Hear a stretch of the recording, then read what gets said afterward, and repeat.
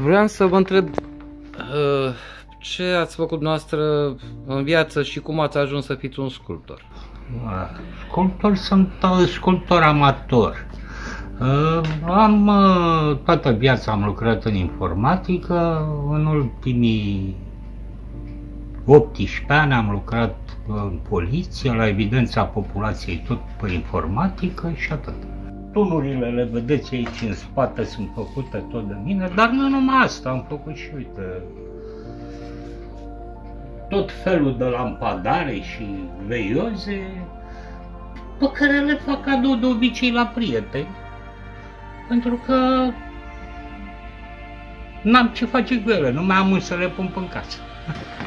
Întâi m-am apucat de metal și mi-am luat și aparat de sudură, cum v-am arătat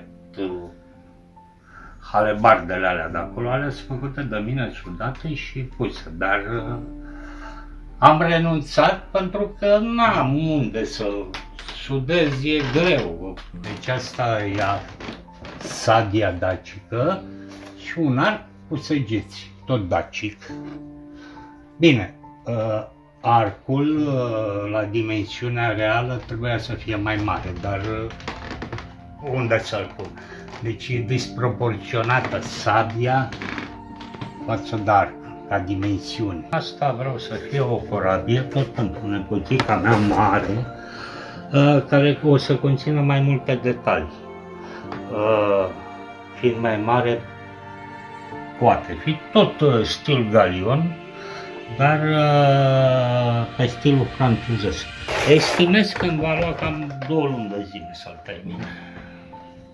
Nu, vorbesc serios, pentru că nu, nu mă grăbesc și uh, trebuie, dacă te grăbești la așa ceva, uh, mulți uh, le fac machete, neavând, uh, eu le fac din, uh, din imaginație. Ia ziceți-mi, cine e personajul? Dumnealui îl cheamă Beni, are 4 ani și este profesorul meu de educație fizică, de mișcare.